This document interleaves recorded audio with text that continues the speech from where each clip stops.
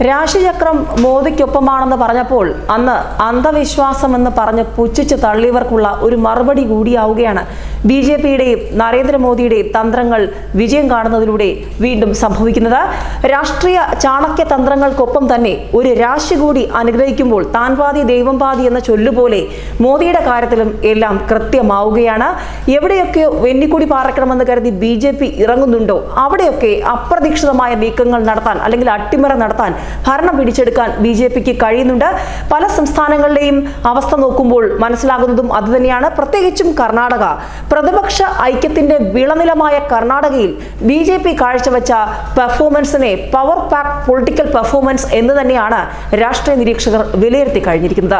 കർണാടകം കർണാടകയിലെ ആ കർണാടകങ്ങൾക്ക് ഒരു അന്ത്യം ഉണ്ടാകുമ്പോൾ തെരഞ്ഞെടുപ്പ് ചിത്രത്തിൽ ഇനി വരാൻ പോകുന്ന ബി മേൽക്കോയ്മ തന്നെയാണ് ഇപ്പോൾ മനസ്സിലാകുന്നതും.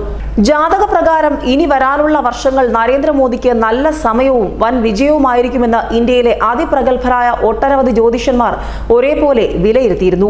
ആയിരത്തി തൊള്ളായിരത്തി അൻപത് സെപ്റ്റംബർ പതിനേഴ് ഞായറാഴ്ച രാവിലെ പതിനൊന്ന് മണിക്ക് അനിഴം നക്ഷത്രത്തിൽ ജനിച്ച മോദിക്ക് രണ്ടായിരത്തി പത്തൊൻപത് ഏപ്രിൽ മുതൽ എട്ടാമത്തെ ദശയായ രാഹുദശ ആരംഭിക്കും.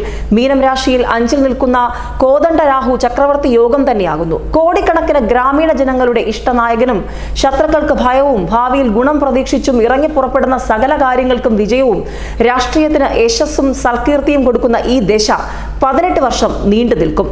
ഏഴര ശനിയുടെ തുടക്കത്തിൽ ഭരണം ആരംഭിച്ച മോദിയുടെ ഏഴര ശനിക്കാലം അടുത്ത ജനുവരിയിൽ അവസാനിക്കും. ചാരവശാൽ വ്യാഴത്തിന്റെ പ്രതികൂലാവസ്ഥ സെപ്റ്റംബറിൽ തീരും. ഇതൊക്കെ പറഞ്ഞത് പ്രശസ്ത ജ്യോത്സ്യന്മാരാണ് അല്ലാതെ മാധ്യമങ്ങളല്ല.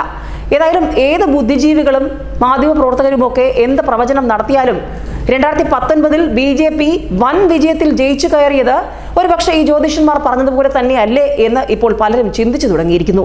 എന്തായാലും രണ്ടായിരത്തി നാൽപ്പത്തഞ്ച് വരെ ഒരു ബി ജെ പി ഇഫക്റ്റ് രാജ്യത്തുണ്ടാകുമെന്ന് ബി ജെ പി നേതാക്കൾ അർത്ഥശങ്കക്കിടയില്ലാതെ പറയുമ്പോൾ അത് പലതും മുൻകൂട്ടി കണ്ടിട്ടായിരിക്കില്ലേ? ഒരുപക്ഷെ അന്ധവിശ്വാസമെന്നും വിശ്വാസമെന്നൊക്കെ പറഞ്ഞ് കളിയാക്കുന്നവർ അല്ലെങ്കിൽ കോൺഗ്രസ് മുക്ത ഭാരതമെന്ന് ബി ജെ പി പറഞ്ഞപ്പോൾ അതൊന്നും നടക്കാത്ത സ്വപ്നമെന്ന് പറഞ്ഞ് തള്ളിയ കോൺഗ്രസ്സുകാർ അവർക്കുള്ള മുഖമടച്ച മറുപടിയല്ലേ ഇപ്പോൾ ബി ജെ പിയും നരേന്ദ്രമോദിയും നൽകിക്കൊണ്ടിരിക്കുന്നത്. ഏതായാലും വരും വർഷങ്ങൾ ബി ജെ പിയുടേതും നരേന്ദ്രമോദിയുടേതുമാണെന്ന് ഒരിക്കൽ കൂടി തെളിഞ്ഞിരിക്കുകയാണ് കർണാടകയിലെ രാഷ്ട്രീയ ചിത്രങ്ങളിലൂടെ. നേരത്തെ മധ്യപ്രദേശിൽ ചില രാഷ്ട്രീയ നീക്കങ്ങൾ ബി ജെ പി നടത്തിയതായി വാർത്തകൾ വന്നിരുന്നു. ഗോവയിലെ നിർണായകമായ തീരുമാനങ്ങൾ. ഇനി കർണാടക വിട്ട് ഇനി ടി ആർ എസിന് നേരെ ബി ജെ പി തിരിഞ്ഞാലും അത്ഭുതപ്പെടാനില്ല. ജഗൻമോഹൻ റെഡ്ഡി നരേന്ദ്രമോദിയുടെ അനുഗ്രഹാശിസുകളോടെ ദക്ഷിണേന്ത്യയിൽ തുടരുമ്പോൾ അവിടെ ബി ജെ പിക്ക് ഒരു പ്രഭാവമുണ്ട്. ഇനി ലക്ഷ്യം എന്താണെന്ന് എല്ലാവർക്കും അറിയാം. നരേന്ദ്രമോദിയും അമിത്ഷായും ഇനി ദക്ഷിണേന്ത്യയിൽ ലക്ഷ്യമിടുന്നത് എവിടെയെന്നും എല്ലാവർക്കും കൃത്യമായി അറിയാം. ഏതായാലും വരാൻ പോകുന്നത് ബി ജെ പി സംബന്ധിച്ച് നല്ല കാലമാണ്.